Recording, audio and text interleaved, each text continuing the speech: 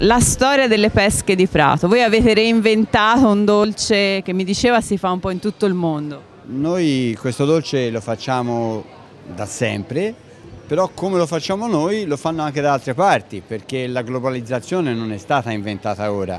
Le cose buone sono sempre circolate.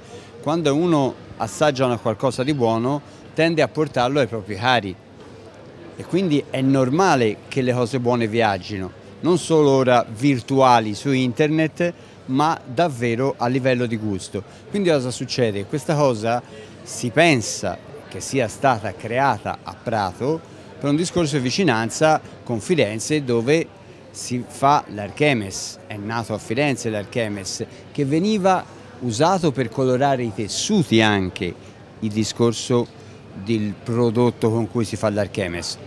Ma la ricerca storia che abbiamo fatto ci porta che nel 1861, e sono documentati, per festeggiare l'unità d'Italia, un oste nelle vicinanze di Piazza del Duomo ha servito la pesca. Ecco perché tutto riporta al discorso le pesche sono di Prato.